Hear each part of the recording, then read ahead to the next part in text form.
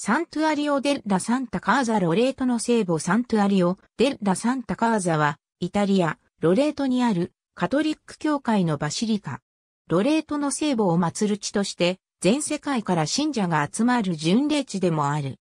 伝説によると、13世紀のサラセン人の聖地信仰を前に奇跡が起こされ、ナザレで聖母マリアとその家族が暮らしていた家がダルマチアへ移されたのだという。この時、家の中に入った村人が、王冠をかぶった聖母マリアと、幼子、イエス・キリストの彫像を発見した。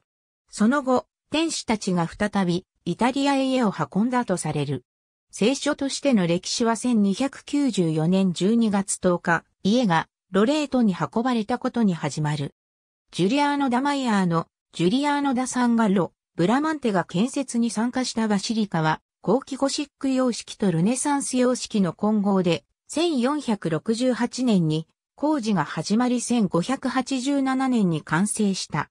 ドーム下にあるサンタカーザは、ブラマンテ設計の大理石彫刻で覆われている。ロレートの聖母と呼ばれる像は、黒い聖母である。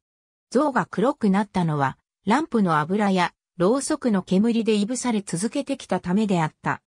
14世紀以来の歴史を持つこの像は1797年に侵攻してきたナポレオン軍に盗まれ、トレンティーノ条約後に返還された。しかし1921年にバシリカ内で発生した火災のため像は消失してしまった。直ちにローマ教皇ピウス11世が修復を命じ、バティカン庭園に植えられていたレバノン杉から新たな像が作られた。ありがとうございます。